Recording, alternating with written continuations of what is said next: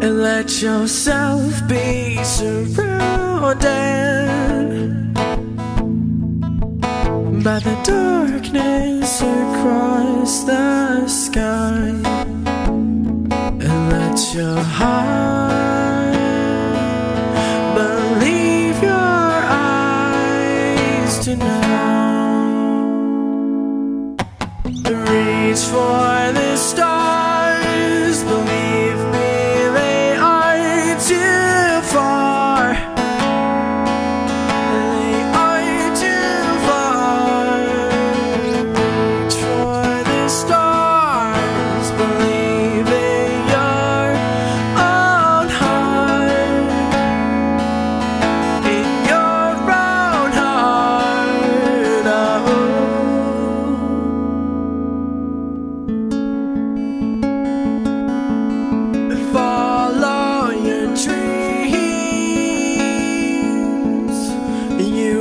to reach out for what it seems.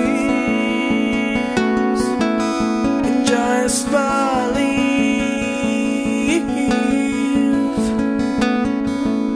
that this is what we live for. Reach for the stars.